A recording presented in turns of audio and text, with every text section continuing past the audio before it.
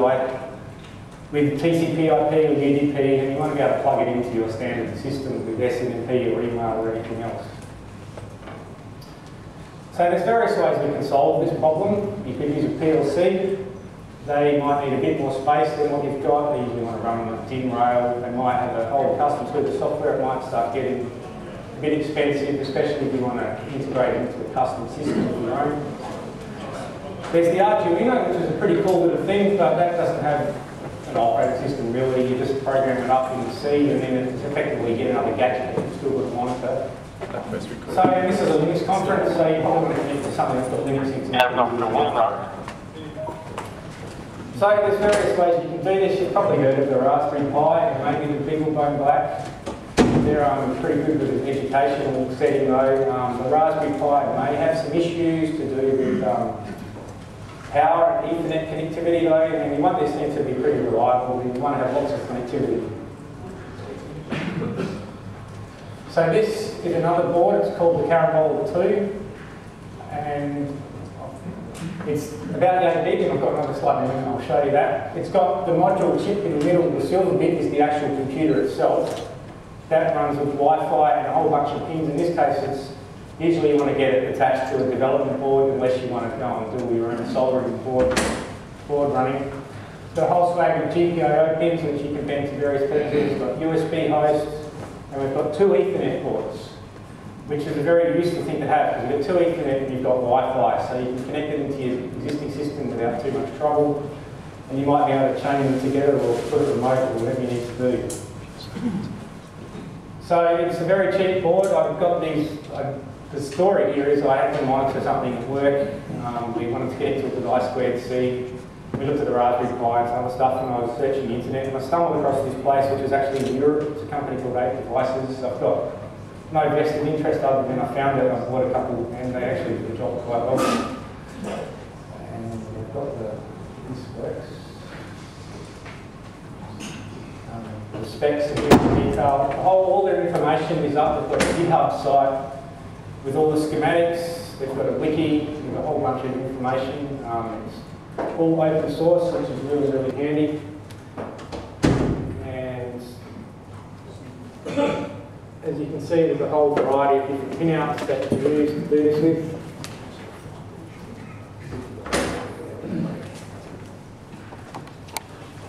It's not the most powerful of boards, it's only a 400 megahertz chip and a BeagleBone's got a gigahertz and so on, but what we're doing, we don't need graphics, and one thing the Raspberry Pi and the BeagleBone, we've got HDMI and all this other I/O, all this multimedia support. Here, we're going to put this thing in the corner somewhere. We want to monitor our air conditioner, or we want to monitor our solar panel, or whatever.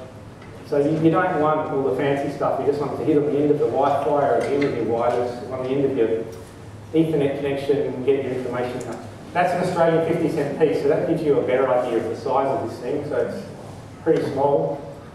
So again, you can buy the module just by itself if, you, if you're into rolling a circuit board to connect it to it, want some real custom stuff if you really want to get the size down.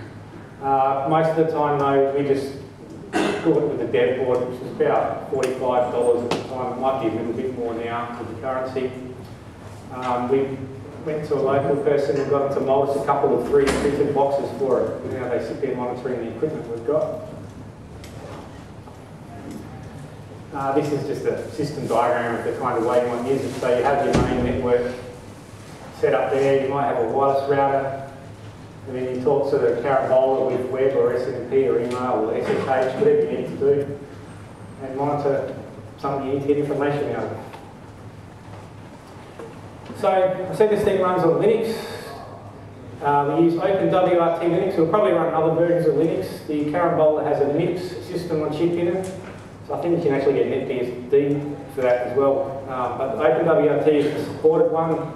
We've got a fork of OpenWRT on the GitHub. Um, there's a whole suite of packages for it. OpenWRT, if you haven't heard of it, originally came out of the WRT54G router, which was developed by Linksys so about 10 years ago now. It's one of the first at-home wireless routers that you used to connect to the internet. So it started life as a homebrew thing where you have a lot of fun, you buy these routers and you get manufacturer's firmware and you put this version of Linux on. But it's actually a fairly, um, it's actually a well-supported community distro, OpenWRT. They're actually pretty finicky about what they put into it too. Um, I've got a bit of a story there because I had one of these other routers I got from MSY for 20 bucks and I hacked it and I wanted to make it work and it wasn't supported. And I couldn't get it to work with the device drivers for the Ethernet port. So there's another one called DD-WRT, so I just cheated and pulled the driver out of that. But they, um, fair enough, they said, we can't let you submit that as a patch because it was just a hack. It scratched my itch, but they like to have a fair bit of quality control, which is actually what you want if you're going to have a COT system to run on the network at your work. You don't really want anyone just chucking in patches just to make it work. So OpenWRT, it's got a large package library that mainly network type packages mm. like Asterisk and SSH and the whole swag of different ones, SNMP, so on and so forth. It has a thing called O-Package, which is a little bit like D-Package, I guess that's where they got the name from, the Debian one, but they have their own packaging system. You can install packages onto the flash of an OpenWRT system, or you can actually direct them onto, say, the RAM disk if you just want to load something down temporarily and experiment with it, and then take it off again. It have a thing called UCI, the Unified Configuration Interface, which is a sort of um, integrated mechanism for the configuration files. So instead of having to know which config file for each tool you've got, you just use the UCI tool to set the parameters, so all the network parameters, or whichever package you want. You can write a script to set them and commit them, and then it updates the config file for you. And all the init scripts know how to parse this stuff. And there's a web interface for it. Uh, I don't really have time for a demo today, so I'll just give you a quick tour. It's definitely Linux. If you log in, you get a pretty handy. They tend to name all the distribution versions after various drinks, which is quite interesting.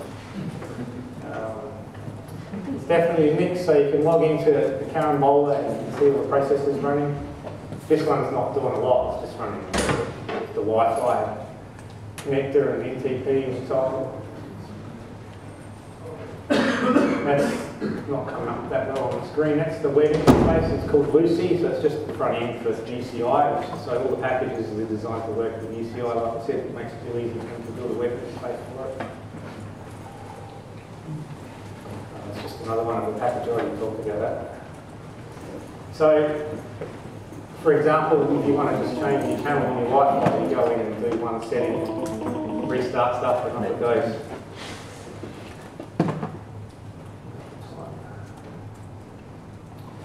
So you want to use one of these carambolas with OpenWRT, if you want to monitor something with it. So this is important, you want a way of getting it off. There's a whole bunch of different ways to do it. My preferred method for the way we did it at work was just to use S email, it's pretty simple. So you find the package for sending an email and then you wrangle into a shell script to do the work. I actually prefer SSMTP, not MSMTP, but then you have to do a source build. Source building is pretty cool, but it's kind of beyond the scope of today, unfortunately. If you want to monitor I squared C, all you need to do is you pick a couple of pins on the carambola board. You donate, if you know what I squared C is, so is, you can go find it on Wikipedia and there's a whole bunch of stuff on their wiki too, on the OpenWRT wiki. And I squared C is like a bus, so you can connect it to the equipment you want to read the status out of, which is what we did.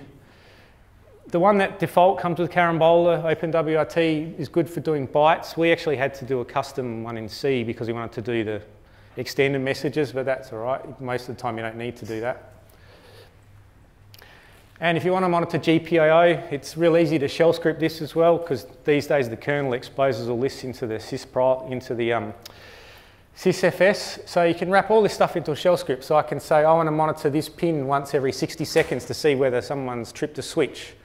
And if it's gone high, whoops, I need to send an email or a message into my system and log that event.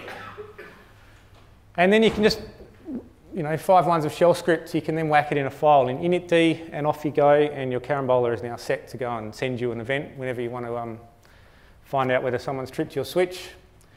Then you can go more advanced, there's SNMP one, when you can get any network package you need just about. This is Linux after all.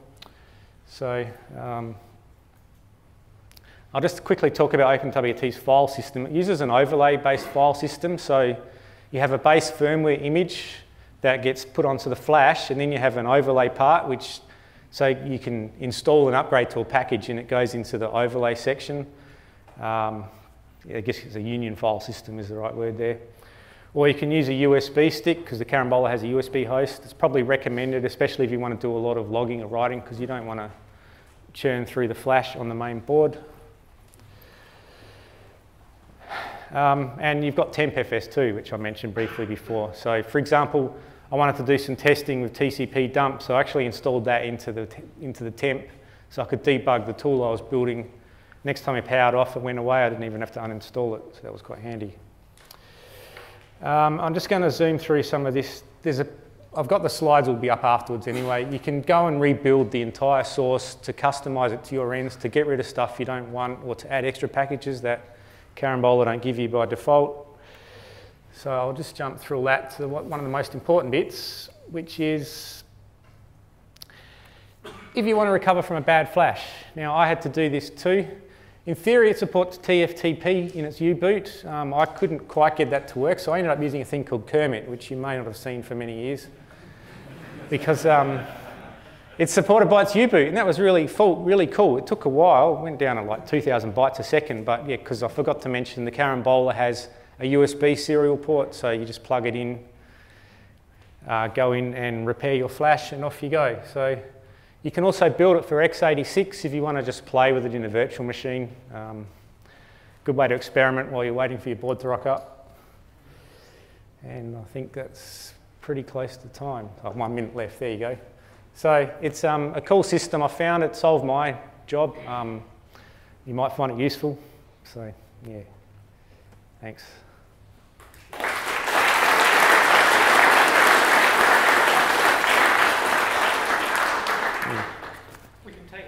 questions while we're setting up for the next presenter? Hey, Jason. Uh, just, uh, you mentioned cross-compiling for it on another, on your base, PC or something. Can you just touch on that? yeah. Um, oh, okay. I jumped through all that, but I might just quickly, quickly, if I can find it. Basically, what happens is the build system downloads everything off the internet. It's a bit like Gentoo. So you clone the GitHub for OpenWRT, and then in a couple of lines of code, you say make. You tell it what set of packages you want. It actually downloads all the source for GCC and GDB and builds a cross-compiled toolchain for your target, whether it's MIPS or ARM or x86. Then it downloads the other packages that you actually want to build your firmware out of, and then it builds them using the built one. So it's like a two-stage Gentoo kind of thing. It's really quite powerful, but you'd need a whole hour to go through it. So.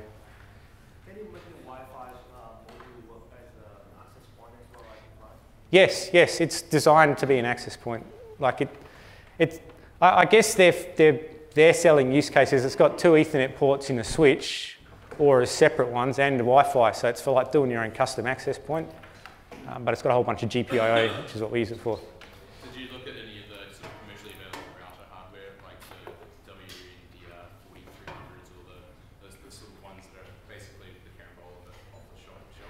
Yeah, well, that's where OpenWRT sort of came from, is where you ditch the manufacturer's firmware and place it. Um, we wanted um, the really tiny size, and we wanted a board that was produced to be um, a commercial off-the-shelf thing for this, rather than hacking something, because from month to month, you don't know what's going to be inside of the, um, the next WRT or whatever. So, um, and part of this, all the schematics are all on their website and everything. So if we wanted, we could have taken that module and put it in our own circuit.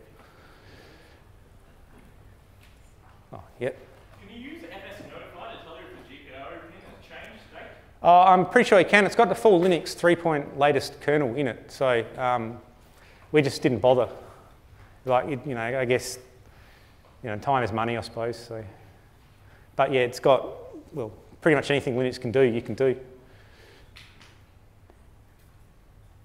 I think that's it.